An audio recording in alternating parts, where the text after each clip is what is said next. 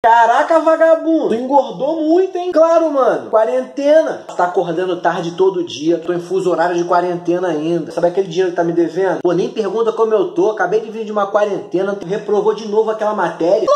Quarentena. Tu vai ser pai de novo. Foi culpa da quarentena. Desistiu da academia de novo. Quarentena, né, irmão? Pior que eu tava no ritmo legal. Fiquei sabendo que tu separou da tua mulher. Tenta ficar 24 horas com o diabo só pra tu ver. Pô, cara, tu não vai vir ver teu filho não, mano? Pô, seis meses já que a criança tá aqui, cara. Tá chamando carteiro de pai. Tá maluco, mano? Eu tô de quarentena prorrogada. Pô, brother, tu nem ligou pra criança, velho. Esse vírus é pica, rapaz. Entra no fio aí, ó. Infecta meu filho, tá doido? Essa criança é tudo pra mim. Tu não fez nada esse ano, hein? Agora, ó. Caraca, vagabundo.